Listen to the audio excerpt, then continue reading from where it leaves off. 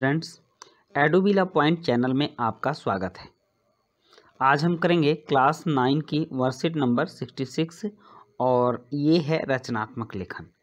तो इससे पहले एक छोटी सी सूचना मैं आपको बता देता हूँ कि हमारे चैनल पर जो पिछले दो तीन दिनों से वीडियो डालने की अनियमितता हुई है, ये चल रही शादियों के सीज़न के वजह से हुई है क्योंकि अभी रिलेशन में और घर में भी शादी होने की वजह से कुछ वीडियो हम नहीं डाल पाए हैं, जिसकी वजह से आपसे क्षमा प्रार्थी हैं।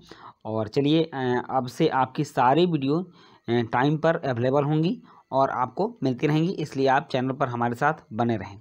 तो चलिए शुरू करते हैं। आज की वर्कशीट और आज की वर्कशीट है सिक्सटी सिक्स इस वर्कशीट में हम लोग रचनात्मक लेखन के तहत संवाद लेखन को सीखेंगे। तो पहले हम यह जान लेते हैं कि संवाद क्या है, उसके बाद हम इस पर आधारित संवाद को लिखेंगे।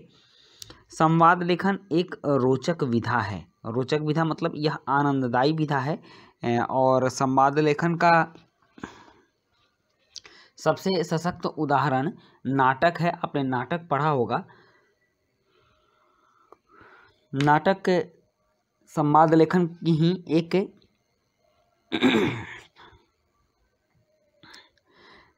तरीका है और संवाद लिख लिख कर ही नाटक लिखा जाता है, उतने बड़े नाटक को बनाया जाता है।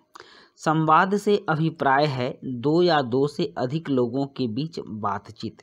संवाद का मतलब होता है, दो लोग या दो से अधिक लोग हों तो उनके बीच बातचीत और संवाद दी गई परिस्थिति के इर्द गिर्द संक्षिप्त और आकर्षक वाक्यों में लिखा जाता है। संवाद की जो परिस्थिति बताई जाती है कि आपको इस परिस्थिति पर संवाद लिखने हैं तो उस परिस्थिति के इर्द गिर्द ही और संक्षिप्त रूप में संवाद लिखने चाहिए। इससे और इसमें आकर्षक वाक्यों का प्रयोग करना चाहिए। नीचे तस्वीरों में दिए गए लोगों का नाम लिखते हुए नाम आप अपना भी रख सकते हैं और चाहे आप कोई नाम दे सकते हो और दर्शाई गई परिस्थिति के अनुसार संवाद लिखिए। मतलब यहाँ हमारे लिए संवाद की परिस्थितियाँ दी गई हैं और इन परिस्थितियों को देखते ही हमें संवाद लेखन करने हैं। यहाँ दो परिस्थितियाँ हैं। यहाँ सबसे पहली परिस्थिति में देखिए, यहाँ दो महिला बात कर रही हैं और ये दोनों रास्ते के विषय में बात कर रही हैं। आप रास्ते पर भीड़ के विषय में लिख सकते हैं या फिर ए, कुछ ऐसा प्रतीत हो रहा है जैसे धुंध हो कोहरा हो मौसम ठंडा हो तो इसके भी लिए भी बातचीत कर सकते हैं या फिर कोरोना की वजह से रास्ते पर कम लोग आ जा रहे हैं। इस पर भी आप कुछ भी अपना एक विषय बना सकते हैं और उस विषय के अनुसार आप अपने संवाद को लिख सकते हैं। और दूसरा और टास्क है ये दूसरा संवाद लेखन का। जिसमें कि दो महिलाएँ मुँह पर मास्क लगाए हुए हैं और एक दूसरे के बीच गैप भी है, आप देख लीजिए, दूरी भी है। इस दूरी के साथ ही दोनों बात कर रही हैं। तो आप इसको कोरोना से संबंधित बातचीत भी मान सकते हैं या फिर अदरवाइज़ कोई भी बातचीत आप इनके बीच इमेजिन करके, सोच करके लिख सकते हैं। दिमाग में एक इमेज बना लीजिए और उसके बाद लिखना।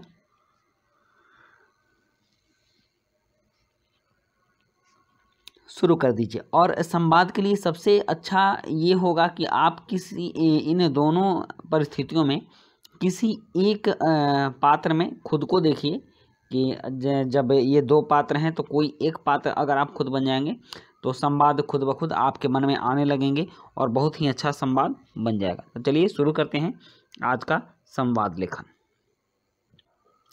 यहाँ प्रथम चित्र के अनुसार दो महिलाओं के बीच बाहर के मौसम को लेकर हुई संवाद है। दो महिलाएँ हैं, एक का नाम काजल है और दूसरे का रेखा है। तो काजल रेखा से कहती है, रेखा, आज मौसम बहुत ख़राब है। मैं अभी अभी बाहर से आ रही हूँ।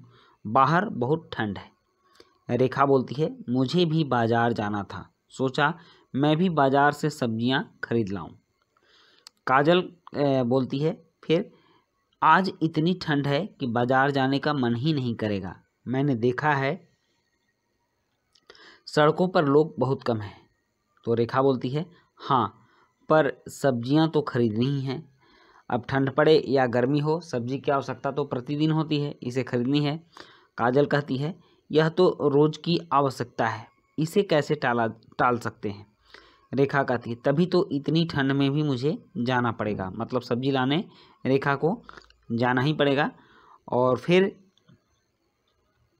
काजल अब रेखा को हिदायत देती है, गर्म कपड़े पहन लेना और जल्द ही घर वापस आ जाना। रेखा कहती है, ठीक है, काजल, आती हूँ बाज़ार से। और बाज़ार चली जाती है। तो इस तरह से दो औरतों के बीच हमने संवाद लिखा। पहले पहला संवाद, अब दूसरा देखते हैं। दूसरा है कि दूसरे चित्र के अनुसार दो महिलाओं के बीच कोरोना वायरस से संबंधित बातचीत हो रही है। यहाँ दो महिलाएँ हैं, एक प्रेमा है, दूसरी आशा है। तो प्रेमा आशा से कहती है, जानती हो, आजकल कोरोना का प्रकोप फिर से बढ़ने लगा है। आशा बोलती है हाँ मैंने भी टीवी पर देखा है। दिल्ली में कोरोना के केसेज बढ़ते जा रहे हैं। प्रेमा बोलती है, इसीलिए अब हमें और सतर्क रहना पड़ेगा। आशा कहती है, अब बिना मास्क के हमें बाज़ार नहीं जाना चाहिए। तो प्रेमा बोलती है, सामाजिक दूरी भी हमें बनाकर रखनी चाहिए, तभी हम कोरोना के खिलाफ लड़ाई लड़ पाएँगे और अपने देश से जल्द ही भगा देंगे। मैं तो कहीं नहीं जाती हूँ। महीने भर अगर बाहर नहीं ही निकलेंगे तो क्या हो जाएगा? ज़रूरत के सारे सामान खरीद कर रख लेंगे। फिर आशा बोलती है हाँ अब बाहर कम ही निकलेंगे और अगर जाना भी पड़े तो पूरी सावधानी के साथ ही जाएँगे। तो बच्चों, ये थी आपके वर्कशीट के अनुसार दोनों संवाद, और दोनों संवाद काफ़ी अच्छे थे। और बहुत शॉर्ट में हमने बहुत कम में इसे लिख भी दिया। आप भी लिख सकते हो।